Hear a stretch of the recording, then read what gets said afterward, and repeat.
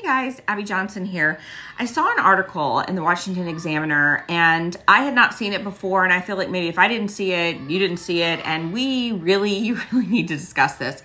So, the title of the article um, was really interesting. It was talking about how the Colorado Sex Offender Management Board is actually changing uh, the title of sex offender. They're they're not going to be calling people sex offenders anymore. They are instead going to be labeling them adults who commit sexual offenses. They're doing this because they feel like sex offender is too negative. Too negative. Sex offender is too negative.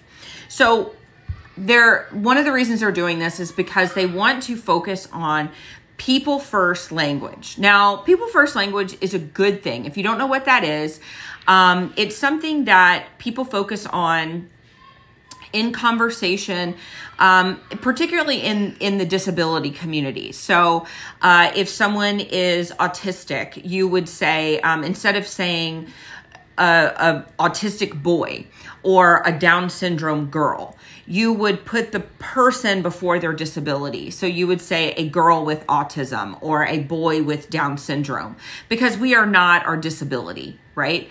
Um, we are not our diagnosis. And so I like that idea. And so I've always practiced that since I, I took a special ed class in college back you know 20 years ago right? Um, so this has been around a long time but being a sex offender is not a diagnosis okay? Being a sex offender is not a disability.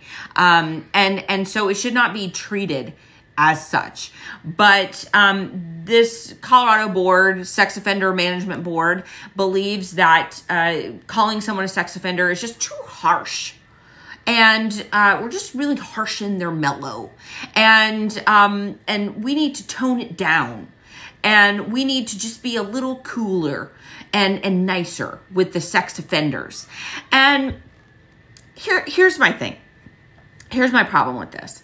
My problem is that this really puts the focus on the offender and it really takes away the fact that an, an egregious heinous crime has been committed and the crime that they committed was perpetuated on an innocent victim.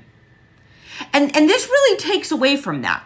I mean, there are so many times where these victims are are given so little justice, if any at all. And and they want their offender. These, these victims, they want their offender to be to be slapped with the title of sex offender.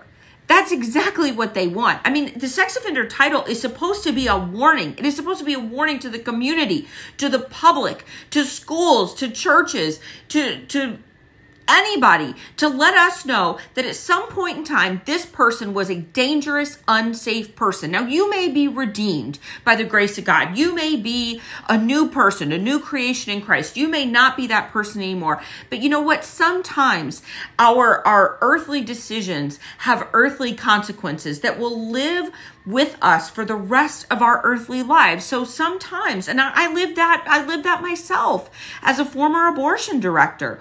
You know, there are, are, I know that I'm forgiven in Christ. I know that, that God has forgiven me, but I still live with, with earthly consequences and will for the rest of my life because of the things that I have done in my past.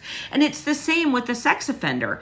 You, you do these terrible things and you live with that for the rest of your life. And being a sex offender and having that label is one of those things as it should be. And we should not water that down to make people feel better, to make that more palatable for, for the rest of society because being a sex offender and raping people and molesting people is not palatable by any sense, by any stretch of the imagination. It's just not. The most interesting thing is that the Colorado Sex Offender Management Board is not changing their name because, you know, they'd have to change the branding and the acronym and their logo and all, and that would just be so uncomfortable and that would be such a struggle for them. And we don't want them to struggle. You know, we just want the victims of this injustice to struggle and have a hard time, but not this board. That would just be too tough.